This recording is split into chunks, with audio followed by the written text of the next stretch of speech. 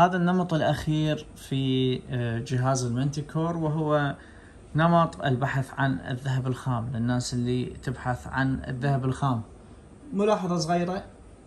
هذا الجهاز غير مص... غير مصمم للبحث عن الذهب الخام. ولكن ما دام هو multi frequency وموجودة فيه frequency أكثر من عشرين وفي موجود الأربعين معناها ممكن نستخدمه للخام. بس لازم تخلي ببالك. إذا تريد تستخدمه للخام لازم تركب له طبق صغير. دائما خام نحتاج حساسية عالية بطبق صغير. لما إحنا نستخدم هذا الطبق هذا الطبق يعتبر حجمه كبير جدا. هذا الطبق بقياس 11 إنش.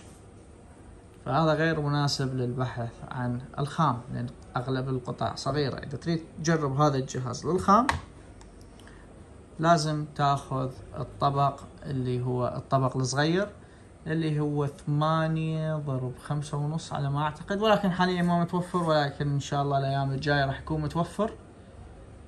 الجهاز multi frequency وهذا الشيء خلينا نقول يعني ممكن يكون طفرة جديدة في عالم أجهزة البحث عن الذهب الخام بال VLF ولكن للحين ما تجربت.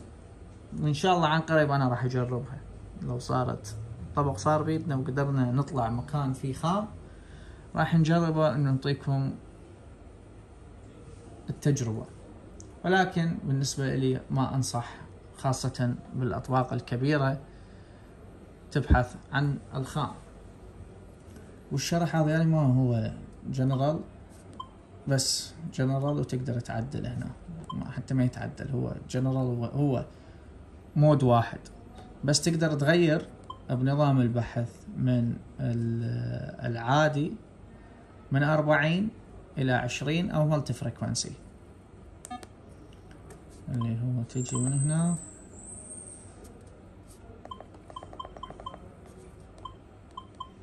ال frequency والله تيهنا هياتها. يا اما تختار أربعين يا اما تختار عشرين يا اما تختار multi frequency أنا سويت تجربة صغيرة جربت على ال multi frequency وجربت على الأربعين وكان أكو فرق بالعمق بال air test اللي هو بالهواء. ولكن أي تجربة بالهواء أو أي تجربة إنك أنت تدفن شي بيدك هذه التجربة ما لها علاقة بالواقع لا من قريب ولا من بعيد. يعني ممكن جهاز يجيب لك عمق في الهواء عمق خيالي. أو دفنت شغلة بإيدك وجابها بعمق جيد. هذا لا يعني إنه الجهاز جيد أو سيء. الميدان يا حميدان هو الفاصل لازم أنت إذا تريد تجرب أي جهاز لازم القطعة تكون ما ملموسة من بشر والقطعة تكون موجودة هي أساسا داخل الأرض. ما ملعوب بيها. حتى تأخذ النتيجة الحقيقية والنتيجة الصحيحة للجهاز. أما إنك أنت جايب لي خاتم أو جايب لي قطعة وتدفنها فهذا الشيء ما له علاقة بالحقيقة. اللي قلتي نهائيا. وشكرا.